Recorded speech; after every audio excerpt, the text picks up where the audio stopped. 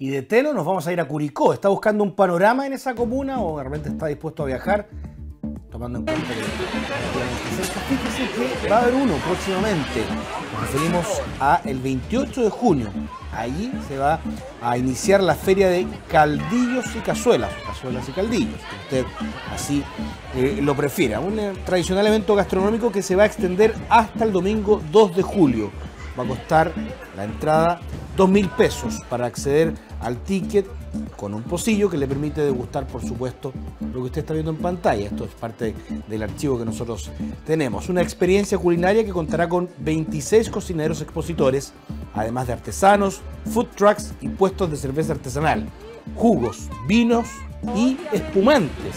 Punto de encuentro para quienes buscan pasarlo bien y revivir las emblemáticas preparaciones de la zona. Todo con un horario que va desde el mediodía hasta la medianoche, pero que el viernes y sábado se va a extender hasta la una de la mañana para poder disfrutar un poco más. Además que caldillos de cazuela en esta época, por supuesto que viene como anillo al dedo en vista de las temperaturas que estamos teniendo.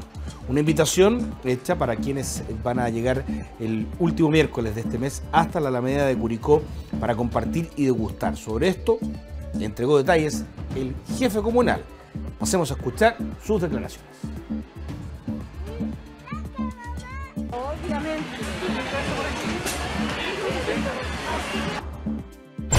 Todo un, mundo del microemprendimiento y, del, y de la economía, eh, del desarrollo económico local que se mueve en torno a lo que es esta fiesta gastronómica aquí en Curicó. Así que desde ya avisarle a la comunidad que partiendo las vacaciones de invierno, eh, desde el 28 de junio hasta el 2 de julio, se viene esta tremenda fiesta de cazuela y caldillo, la más importante en su rubro en la época de invierno.